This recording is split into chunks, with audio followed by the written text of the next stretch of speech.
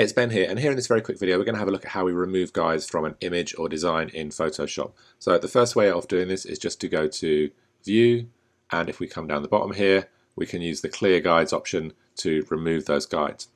Now there's one other way of doing this as well, so I'm just going to slide down my guide. So to add guides, you come to the rulers and just hover over and drag onto your canvas. And basically to remove the guides, we do exactly the reverse. So if we drag this all the way up, to the ruler, we've removed our guide. So we can use the clear guides function from the menu, or we can drag those guides back off to our rulers and remove them.